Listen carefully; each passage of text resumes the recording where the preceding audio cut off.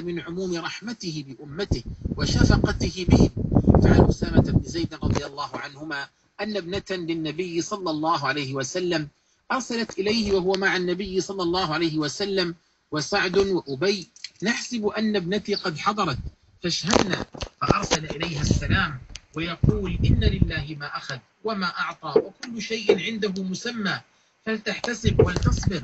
فأرسلت تقسم عليه فقام النبي صلى الله عليه وسلم وقمنا فرفع الصبي في حجر النبي صلى الله عليه وسلم ونفسه تقعقع ففاضت عين النبي صلى الله عليه وسلم فقال له سعد ما هذا يا رسول الله اسمع الدرس يا بابا هذه رحمة وضعها. الله في قلوب من شاء من عباده ولا يرحم الله من عباده إلا الرحماء أو كما قال النبي صلى الله عليه. وسلم وأصل الحديث في صحيح البخاري وعائد المريض وعائد المريض يزيد على زيارته ما تجود به نفسه من خدمته لأخيه المتعب.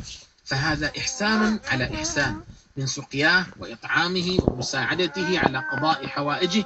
فعن جابر بن عبد الله رضي الله عنهما قال مرضت فعادني رسول الله صلى الله عليه وسلم وأبو بكر وهما ماشيان فأتاني وقد أغمي عليه فتوضأ رسول الله صلى الله عليه وسلم وصب علي وضوءه فأخذت يا رسول الله.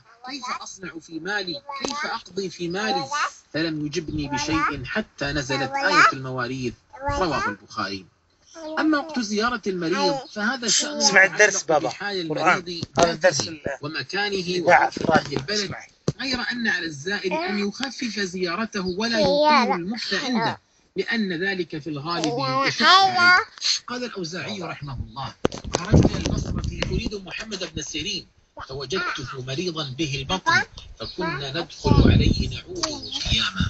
وقال الشعبي زيارة الحمقى أشد على أهل المريض من مرض صاحبهم. يجيئون في غير حين عيادة ويطيلون الجلوس. انتهى كلامه. ولكن لنعلم أن المرضى يختلفون والعلاقات بينهم وبين أهليهم تختلف والحب والود يختلفان أيضا. وإنا نعلم يقينا أن